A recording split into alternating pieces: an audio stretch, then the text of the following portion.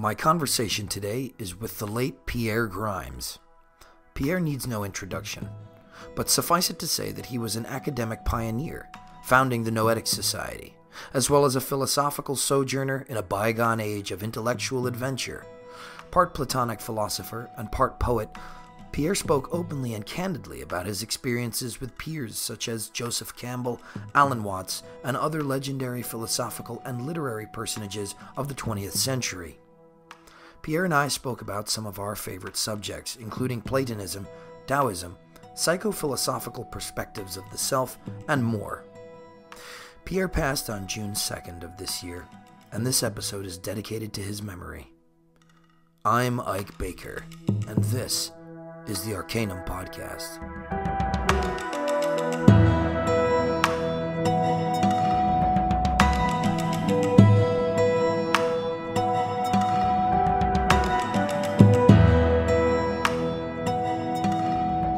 Well, Pierre Grimes, thank you so much for uh, for being with me today. It's an absolute pleasure. Uh, it's an honor. Um, you, myself, and Adina Bezarita, we just had sort of a little preview class um, for the New Hermopolis conference. You gave a presentation, which was fantastic, by the way, uh, entitled um, "A Hellenic Exploration of the I Ching." So uh, I know we had spoken a little bit, and you got into some of it in the in the um, the course itself. But uh, I'm I'm curious if we could explore, you know, how you uh, discovered this convergence of uh, Hell- Hellenic philosophy and and really Taoist philosophy. well, that's a uh, a very good question. You see, um, I would say that uh, my primary interest was born in the uh, middle 50s, 1955. Uh, I had a, a dream experience of divine illumination brilliant light of being, they call it. Wow. And then when I came out of it, I said to myself, Here, I think you can get back into it right now. And so uh, it'll, the circumstances were such that allowed that passageway. well, I was studying at the American Academy of Asian Studies, where Alan Watts gave me a fellowship to be a lecturer in comparative philosophy. And I never mentioned this to Alan. Matter of fact, I didn't mention it to anyone for many, many years. But therefore, I was drawn to Eastern thought because of the poverty that I experienced in Western philosophy. And in 1952, I was in touch with Joseph Campbell, and we had coffee in Greenwich Village. And I said to Joe, I said, Joe, where is real philosophy going on? Because it's not going on, so far as I can see, anywhere in Europe. He said, Pierre, it's dead.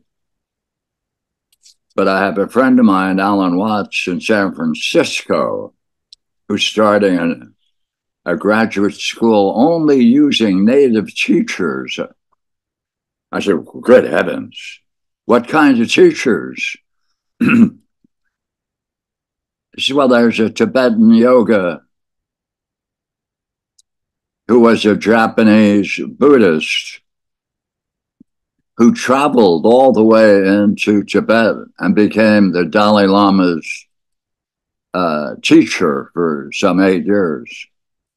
So I said, Good heavens, what else is there? And he said, Well, Jiming Shen is there. I said, I don't know the name. Ah. He said, He's a Taoist. And I said, Oh, that's interesting. I've read a little bit about Taoism.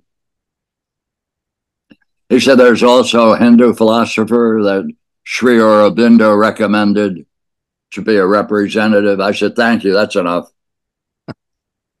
I got in my 1936 convertible LaSalle, piled in a one eyed dog, and San Francisco I came. That's a classic story. That's a classic tale right there. I mean, it was a luxury, you know. Um, to make it simple, uh, my Tibetan teacher, uh, Lama Chada, Lama Chada offered a series of lectures, and three people showed up. There was no interest. Mm that could support a public lecture on Tibetan Buddhism. Uh oh. Along came the revolution, LSD, hit San Francisco.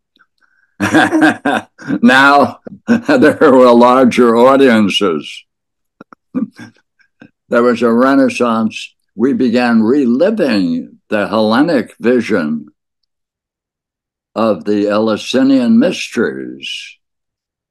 Wow. Which, of course, is derived, the substance of that ritual is a uh, uh, early form of LSD. It grows on wheat as an ergot. And they were using this substance with others as the basis of a, a, a identity. They gained a, a unity.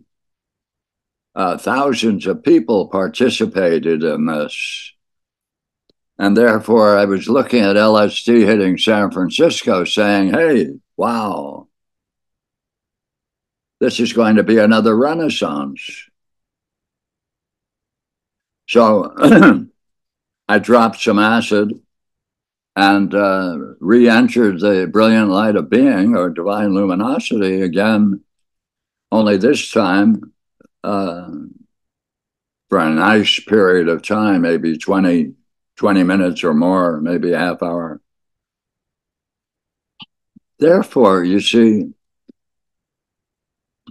I was then moving from Taoism to Indian philosophy to Chinese philosophy in this small school in San Francisco. And uh, simultaneously, uh, I got involved in Buddhism. And the, the big difference came with three pillars of Zen, Kapleau's. So I went to Maezumi Roshi, who I knew, and a friend of mine and I, we had coffee, a tea, tea or coffee with him. And we said, look, why don't you run sessions? He said, oh, Americans wouldn't go for it.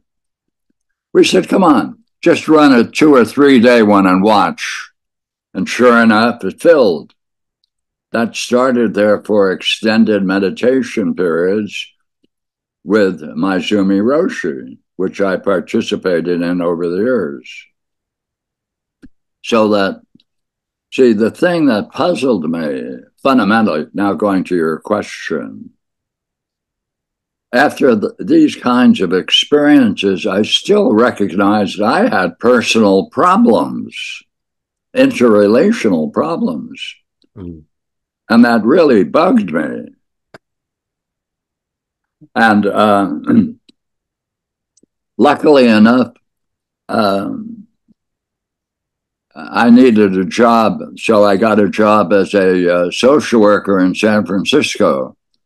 and they had a rehabilitation center in Redwood City. And they assigned me there as the only therapist at the therapy center. Um, so when I got there, um, I asked the doctor in charge, I said, Are there any restrictions in what I might do with these people? He said, Look, do anything you want. Nothing works.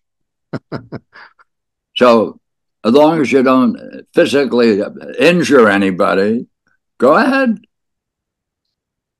So, I worked with some people, and finally, I had an idea.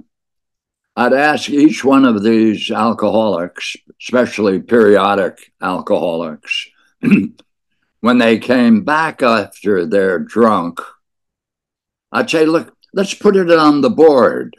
We had big blackboards. And so we'd map out the cycles, and we found that they repeated themselves. And I said, well, what the hell is going on? What's behind this cycle? The cycle. One person broke it.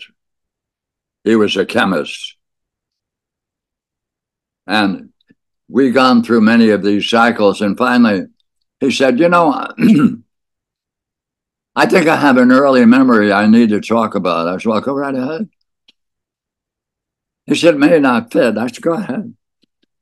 He said, I was nine years old or eight, living in New York. And uh, he said, You know, curiously enough, we'd play football out in the street without any proper clothing, etc. This is early years.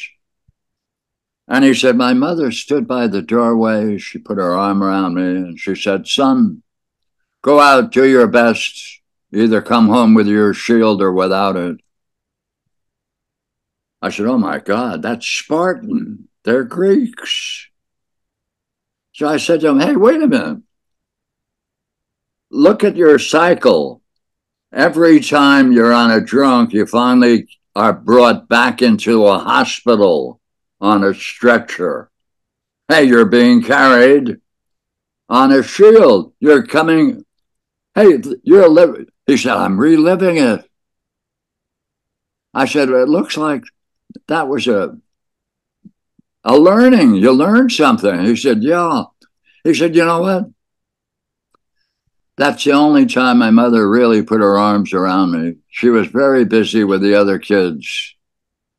So this really was a very high moment of beauty and love.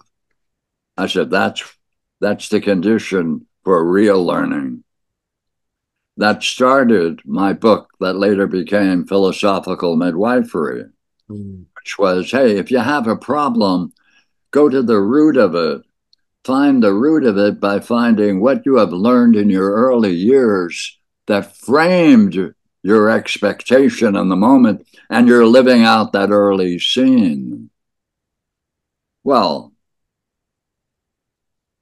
now I could sit back and say, wait a minute I have now participated in many, let's call them, uh, I call them the, uh, the, the, the wisdom, the wisdom of each of these nations, the wisdom of the Tibetans, the wisdom of the of Chinese Taoism, the wisdom of uh, Advaita Vedanta.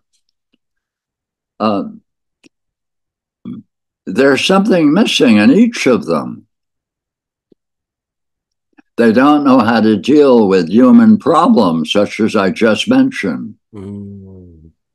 I said, by God, you know what we need to do? We need to be able to bring all the wisdom traditions together into a unity and make sure, therefore, they have a place within them for searching out why their own people are blocked and are stuck in their own past and are not free in their own spiritual development.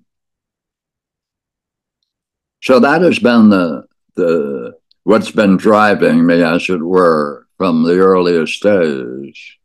Hmm. And uh, I finally ended up with uh, studying Korean Buddhism. And uh, there I met and worked with Myo Bong. and he said, Hey, Pierre, come on over to the temple. Let's have a cup of tea. I said, Okay. By the way, he used to show up at, at my our meetings we had exploring dreams and personal problems for maybe three months never said a word sat in the back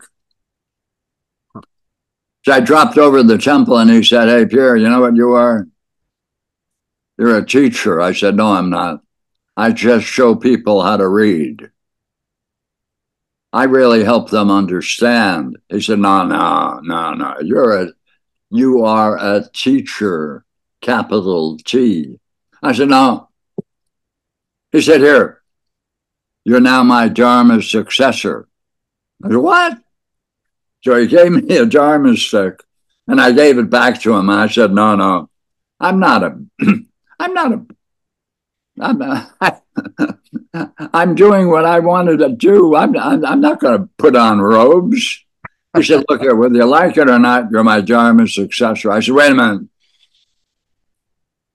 He said, I have an idea. I'll prove to you you are really a spiritual teacher. I said, Go ahead, I'm for it. He said, Show up every Thursday at my temple and I will prepare the Diamond Sutra. I will translate it myself. You will not be able to have a copy till five minutes before you go up and give a talk on the Diamond Sutra. I said, okay. Oh, wait a minute. Then you have to then show up before my group and give a talk on Plato's Parmenides. He said, sure. so we we went through it and a key, several key uh, sections of the Diamond Sutra became vividly clear. And uh, I said, hey, that's it. I'm a teacher. Mm. Uh, this thing just opened up right now in front of us. And uh, okay. So then I said, Well, now it's your turn. He's now going to give a talk on Plato's Parmenides, which is the, by the way, one of the most sophisticated wisdom uh, pieces of literature or philosophy I believe one can find. In any case, um, I was teaching night at night, Monday nights, only this was a holiday. So I thought I'd drop by the temple. And I got in there and I said to the one of the monks, Hey, where is he? And oh, he's always upstairs. So I ran upstairs. And there he is with a friend of mine who is guiding him through the Parmenides hypotheses. And I said, wait a minute. That's cheating. Goodbye. so that's the, and in summary, uh, I think the most important thing is that we have to craft a new golden age based upon the highest kinds of wisdom traditions that exist, bring them together into a unity, find a place for how man can mature his own vision and get over whatever blocks he experiences that are presently unsuspectedly, by the way, because when we have a problem, we don't have a faintest idea of its origin. So it comes as something quite unexpected. It's not a blame game. Right. Yeah. So um, when you start with a simple question, you get me going through this recollection. you no, it's it's fantastic. I mean, this is the kind of stuff that I love to hear, and I know that other people this is high value kind of um, stuff, and and you know because you're a high value teacher and philosopher, and uh, you know I, I consider you and your work to be, I, I would say, in the most dignified uh, um, respect, you know, an elder of of this community, and and communities only can only thrive when they reach back to their elders. And and in some way that's what we do when we reach back also to Plato, but sometimes sometimes there's such a span between us and our elders that we need intermediaries to kind of explain it to us and and sort of reinterpret. So I mean, I think that's something that you do really well and I'm I'm interested because uh, if you're familiar with this channel, I mean, we've talked Platonism with Jake Traer, Danny Newman, um, Eric Orwoll, Dr. Gregory Shaw. We, you know, we've gone through a lot of Platonism, so we could really have uh, somewhat of a, of a high level discussion regarding it. But I'm I'm curious. I view the, the Platonic dialogues more so as mystical documents than anything else. And I'm curious, was there a moment or an epoch where Platonism uh, let's say the Parmenides, for example, when that really proved itself to you, when you you had like an aha moment. I you got it. You see, the problem, the problem anybody faces is that we're living in a culture that is dominated by a certain kind of philosophy. Essentially, it's cynic philosophy, practical practicalities uh, create meaning only out of the everyday world. Now, what I got into, the reason I got into deeply into Plato is because I was reading Homer. And I got into Homer and I was with a group of people, and good heavens, the idea came up. I said, wait a minute, look, let's look at the Greek no, hey, in Homer, probably 500 places there use the word self. It is never translated. Wow. In English as self. Now, one of the great points in Homer's Iliad is Achilles having an enlightenment experience. But, you know, as that unfolds, he then states that whole enlightenment experience, brilliant light of being, came from the self. You won't find that in any translation. Hey, our modern translators refuse to use the idea of self.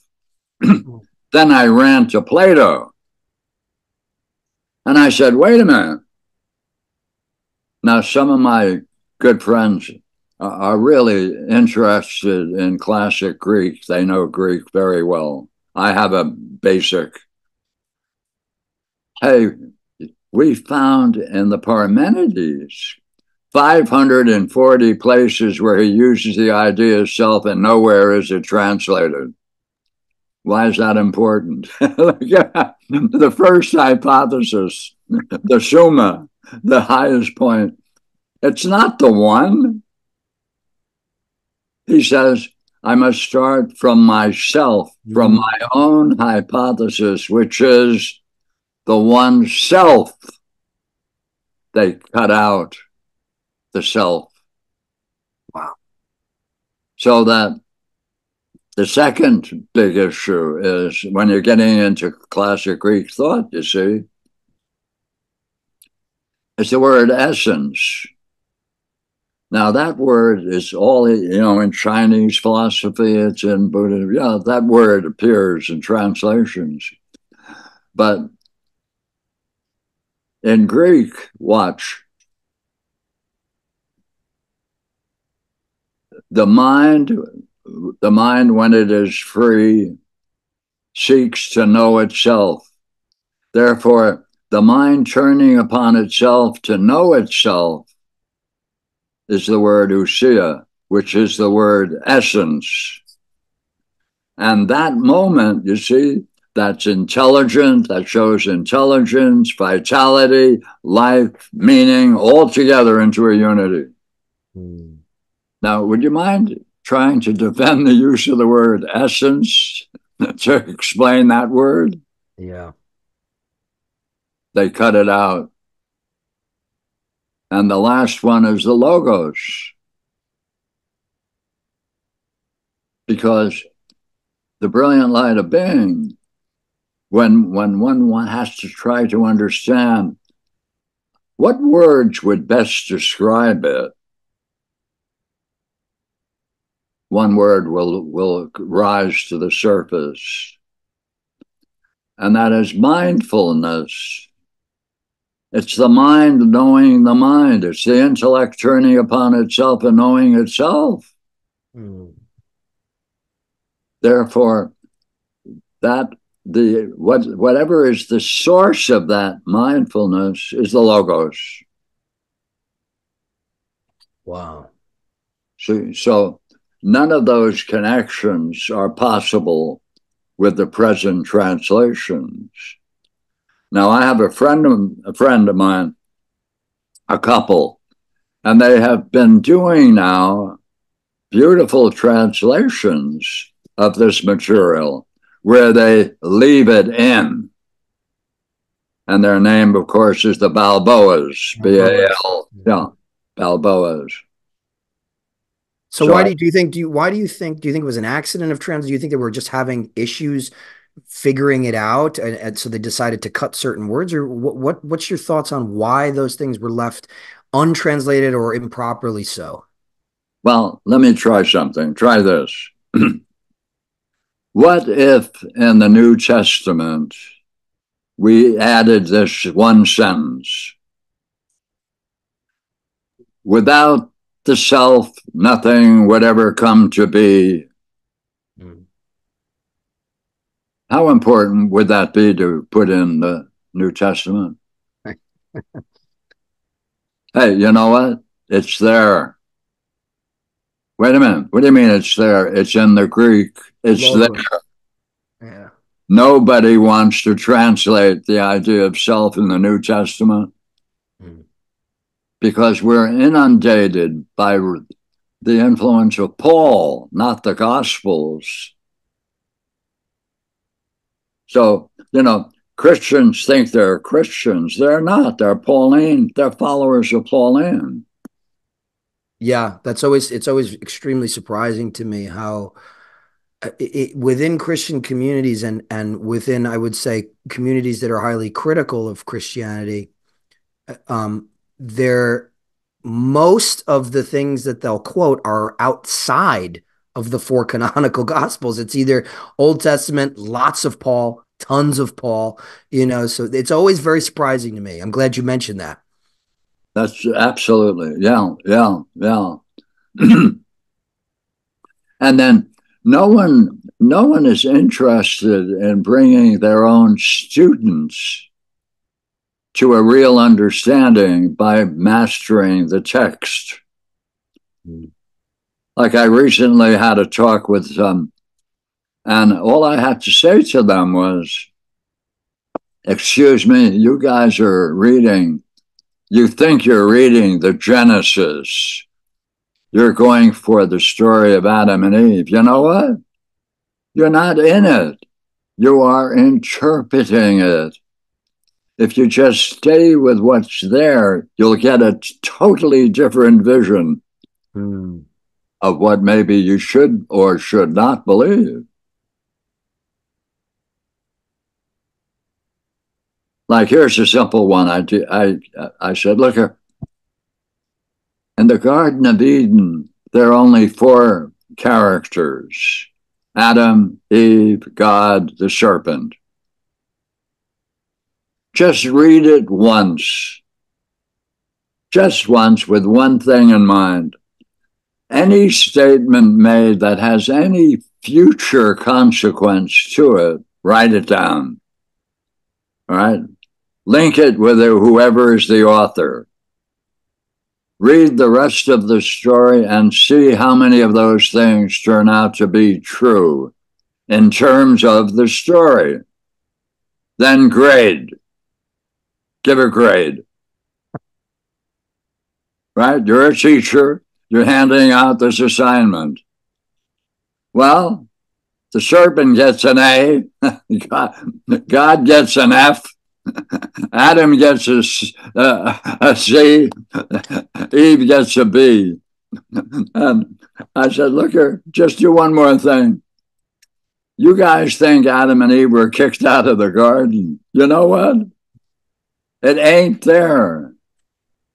Only Adam is kicked out of the garden. God says that he, he, he will be, he, he, he, not she, not them. Adam. By the way, that doesn't fit anyhow because if they read tighter,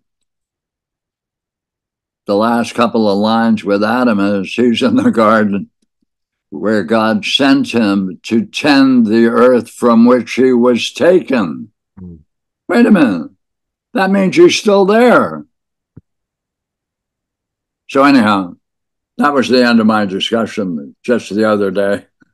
yeah. No, that's, I mean, that's a great approach, you know, to, um, uh, biblical exegesis, particularly for that for that story. You know, the, and the two creation myths and yeah. things like that, and Adam having you know uh, just a different a different story, a previous wife, and things like that. But um, I, I really enjoyed what you have to say about the logos. I'm wondering. So oh. I'm, re- I'm I'm I'm wondering then how that applies to pathologos. You know, of let's say in the Republic or something like that. I think there, you know, let's say in like the the analogy of the divided line, um, and this notion of of pathologos. What are you What are your thoughts um on that? Sure. Uh, the difference between the Republic and the Parmenides is that in the Republic, Plato is asked to explore the, his, the highest vision. And he turns to his group and he says, Hey, you know what? I don't have right now the energy for this. I'll tell you what he says. I'll give you the second best. The second best is the brilliant light of being, or what we call the second hypothesis. So, therefore, the Republic is the second level. And therefore, it doesn't get into the higher level. That's left for the Parmenides to get into. Okay. Why is that important? In the divided line, the highest intellectual functioning is what he calls episteme, knowing, right? But hey, knowing fits for that experience because one encounters it, what learns from it, one can pull from it certain kinds of concepts and ideas. But that's not the highest because in the Parmenides, none of those, uh, those we'll call them attributes, can be assigned to the one self. Now, in the exploration of the first hypothesis, sometimes people call it the study of the negatives. But while it is an exploration of the negatives, it's that's because he's only talking about the nature of a pure one. Now, in the Republic and the arithmetic, he talks about oneself.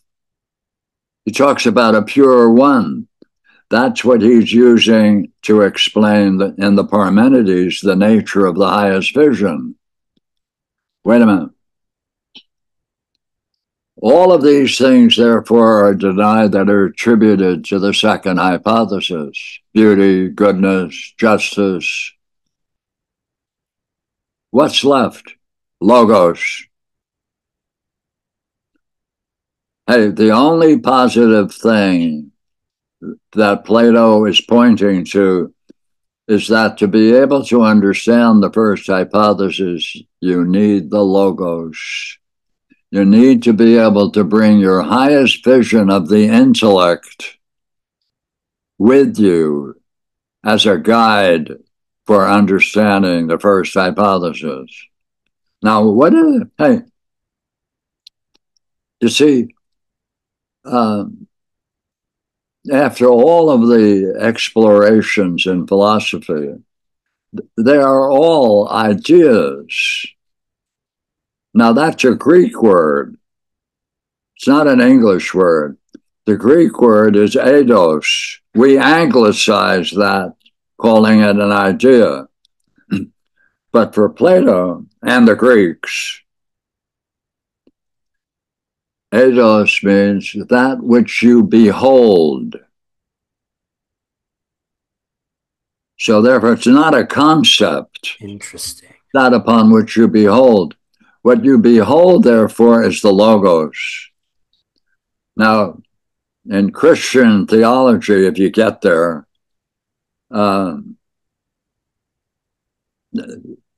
you could say that the mind of God is the Logos. Now, in the Gospel of John, Anarche Logos, in the beginning was the Word, then the Word was God. Therefore, the Logos is divine, is God. But you know what? He he he ends that exploration for the rest of the dialogue or the the gospel. Hmm. And it's only picked up on the Nag Hammadi and the Gospel of, of James. You see, they, they, there were once 50, more about 50 different Gospels, and we just uncovered them in the Nag Hammadi library, as they call it. Well, the, for you and I, Ike, the most important one is James, because James in the Gospel of John, Jesus calls James his twin. Brother, yeah, yeah. Right, his twin. Therefore, the Gospel of James in the Nag Hammadi, it, that's the twin. And he's giving, therefore, the teaching, which is, which is all Platonic. Mm-hmm. Yes. And therefore, what they did with Emperor Constantine during that period of Constantine, 350 AD, they destroyed all competing gospels only kept those four. Therefore, we had no knowledge other than the opening lines of John connecting it with the Greeks. But now modern scholarship is finding more and more points that refer to the, the Greek culture because the New Testament is written in Greek. Right. That was a Greek culture at that time. So the, the idea of the Logos is the, in principle, the highest vision you can have of what's of the nature of the intelligible.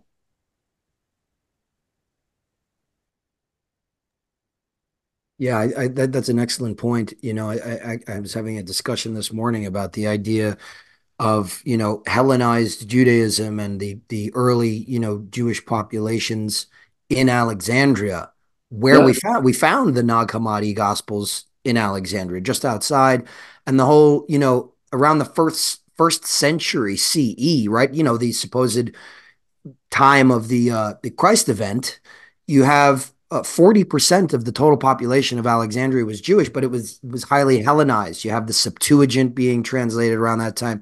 You have the Hekhalot and Mer- Merkaba literature, which which is highly theurgic, highly highly theurgic, and you know, taking the entire uh, cosmology and ontology is is taken uh, as a technical schematic for this this ascent from uh, Neoplatonism. So it, it, that's that to me is a really uh, fascinating cross pollination right there. But one of the things that I wanted to make sure that we talked about is how does a lot of this apply to your concept of philosophical midwifery? Can you t- talk to me about the concept and about the book? Okay. Um, in a way, we have touched on it with that story. All right, but um, you see, the the the philosophical midwifery starts on uh, its departure point. The way it begins is to recognize that mankind is struggling with problems they do not understand they have. And therefore, we're in a we live in a world where we there's an ignorance, a vital kind of ignorance that's blocking us from our highest goals. And we and therefore all of our frustrations are because we have a false idea of reality and of the self. When you are with this kind of ignorance, root with its roots in a culture. What is this? What does that mean? Okay, let me change it.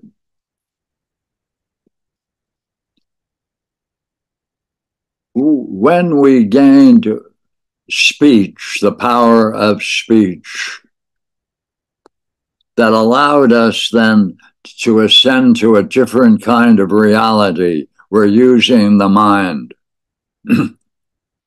now, there are all kinds of different cultures around the world. Each one is likely to have a primary false idea of the self. Why? Hey, that's survival. It is a key to one's survival because what we call the sick belief, the pathologos, mm-hmm something we learn within our families that is reinforced by the society we live in, creating a bond. That bond gives every every person in a family an identity, a role, where the primary goal of there's nothing more important than the family culture. Ah. Ah. You know what that means? That's primitive. Hey, we're coming out of a primitive heritage. How do we do that? If we ever teach our children in schools everywhere, hey, you know what? if you have a problem, you're lucky. You see you have a problem. Okay, describe it. Ah, see whether you can then take that description into a state of mind. Oh, see whether or not that state of mind you can trace back throughout your whole life after problem after problem after problem with that one thing being the primary force. Okay, then it's time to say, where did it begin? How did it begin? Well, it always begins. Number one, it begins when a child is having fun when they're free, when they're doing what they most want to do within the confines of the family. They're in an open state of mind. That's when the parent seizes upon the child to impose upon them, transmits to them their primary beliefs. Oh, how do they do that? since it's going to be a lie. They have to appear to the child sincere, strong, knowing, caring, beautiful at times. They have to appear that way. Wait a minute, that's, that's astonishing that the appearance of virtue is the cause of vice. Oh, then what must the child do? They have to wake up later in life and say, hey, you know what? I'm tired of all the screw ups I've had. I must try to find out the origin of it in particular scenes in my past. Oh, when they do this and they see the particular circumstances they revisited, relive, they can now do the next thing. I suggest to them, now please make believe you can talk to your parents and tell them what you see they are doing to you. If you can put that into words to that degree, you are free and you, re, you are regaining that state you formerly were denied and were kicked out of earlier in your youth. Now, I went with this theory for many years, helping people, right? but something I said to myself, Pierre, not deep enough. The kinds of problems people are bringing up are really problems, but they're not the primary ones behind all of the surface problems. So I said, hey, you know what? Plato says the most important thing for him is the inner voice. And he describes that inner voice and the source of it is the same as dreams. I said, hey, that's it. So I then studied and invited people, anyone who had a problem, forget your present. Just bring your dreams. Now, dreams will be astonishing. Every single one is going to be astonishing because you'll find one principle throughout them all. Every dream is going to tell you what you have ignored that's fundamental to your spiritual and intellectual life. Everyone doesn't make any difference. Over and over, whatever it is. Hey, now you can now, by analysis of the dreams, help people see what it is they've ignored that will give you the key to their early problem. Therefore, it's a most direct way to get to that early problem, which up to this point has been disguised. Difficult to believe it's playing that kind of a role. Like a good number of people will finally be astonished and say, Pierre, Pierre, Pierre, I can't do this. I love my parents. They've sacrificed so much for me. I'd say, hey, you know what? The good they've done, credit them. But they don't know that they're doing this and the, and the implications of it, nor the consequences of it, because you know where they learned it? From their parents. Right. And their parents. So we had this discussion, and luckily enough, one of the members said, Hey, I have a friend of mine who's got a seven year old, eight year old boy, big problem. Can you talk to him? I said, Yeah. Hey, he came with his mother. The kid opened up his past, which is his present. mm. and revealed what she has been doing to him that caused him the problems she was having in school. And she said, Oh my God, I think I got that from my mother. Can you talk to my mother? I said, Sure. So the grandmother, the mother, and the son showed up in the next week.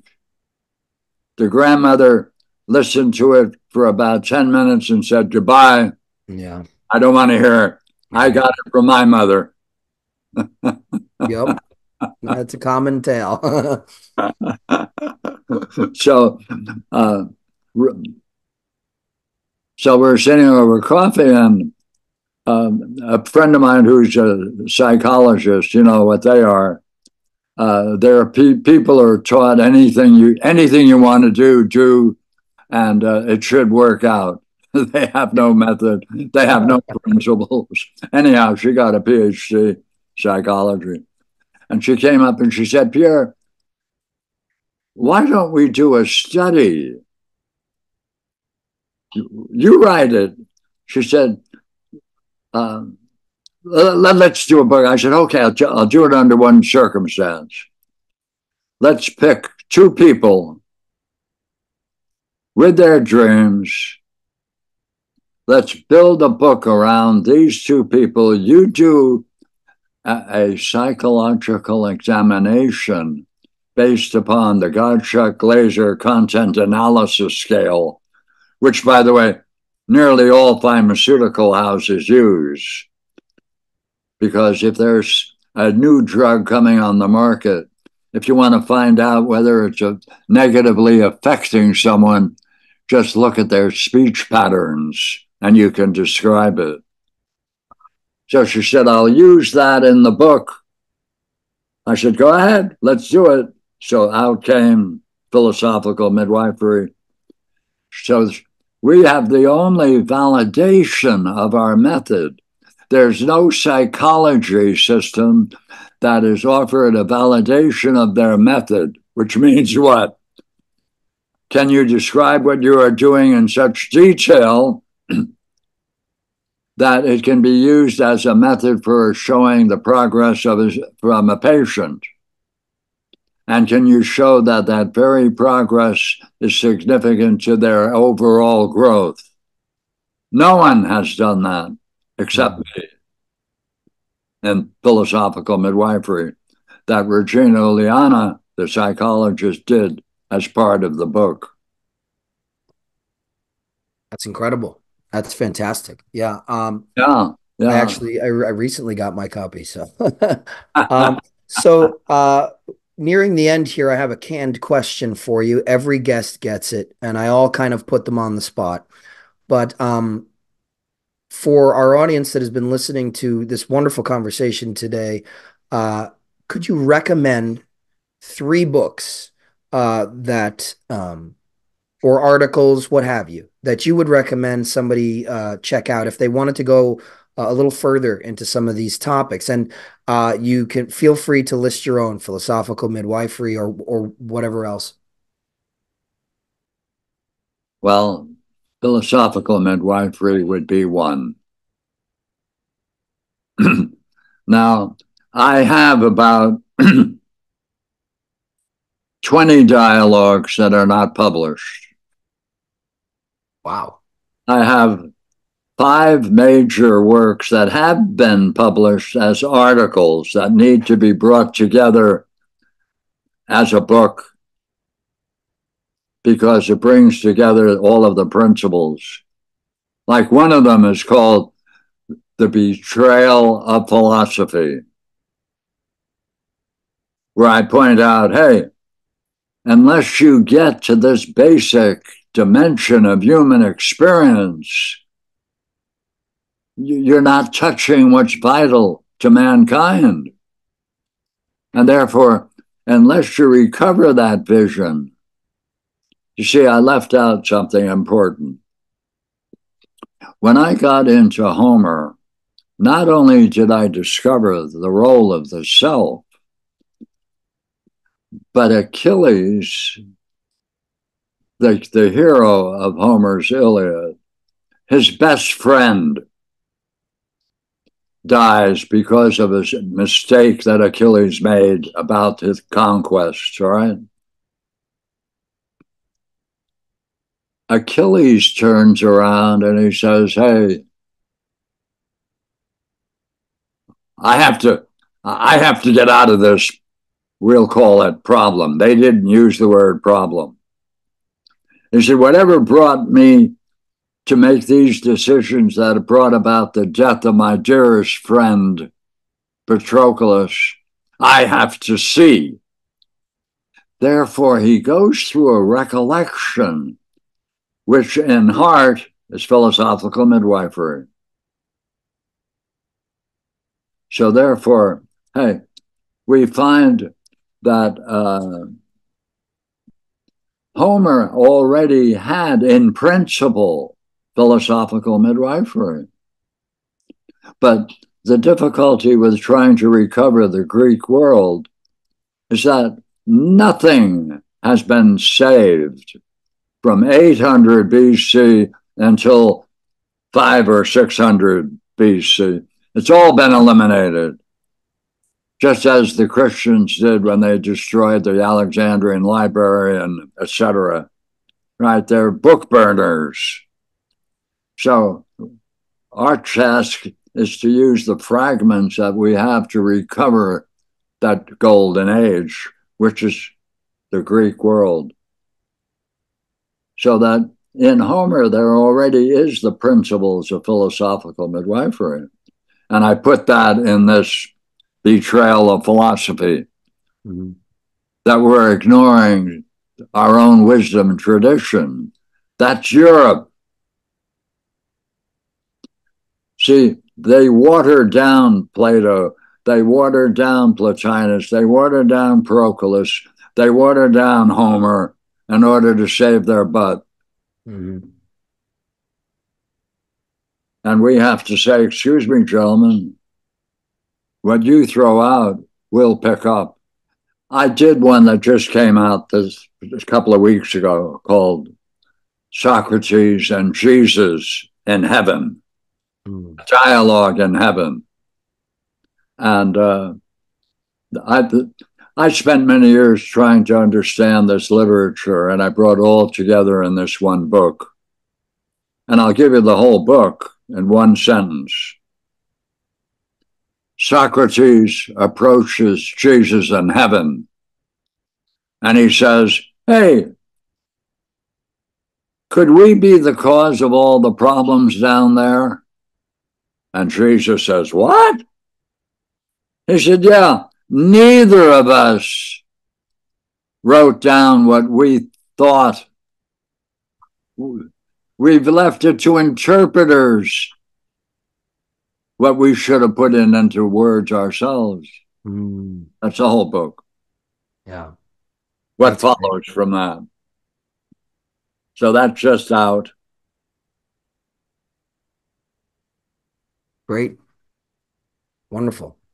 I don't know whether I'd call that the second one, though. You see, when I'm talking about the kind of thought we're now engaged in. Right.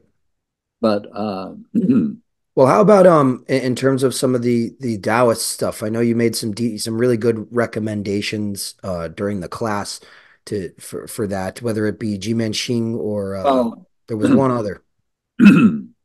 well, through Taoism, you can take Taoism and Plato's Parmenides, and by a nice analysis, you can see one is a is a complement of the other. Now that uh, that's not anywhere, you know. I talk about it, but I haven't put it in into a writing paper. But uh, the way to get into Taoism for myself, I studied with Jiming Shen, one of the great Taoists. But subsequently, I got into Taoism through the uh, uh, Lu Ming, uh, Liu I-ming commentary called The Inner Teachings of Taoism. So I would say, in terms of seeing the interrelationship between Greek and Taoism, that book would be a very good help. Um, and uh, Yeah. See, Jiming Shen also, when I was with him, he did a, three beautiful articles where were published. And one is on the relation between Greek thought, Hellenic thought, and Taoism, which is a beautiful article which I would certainly recommend. Right. Excellent. Yeah. Well, this has been a fantastic conversation. We've we've hit on uh, quite a few of some of my favorite topics between Platonism and Taoism, two of my main focuses. And I mean, there's really no very few people that you can learn these things from, such as yourself. So I appreciate you coming on. Thank you so much, and um, I'm looking forward to any any any new publications. Pleasure.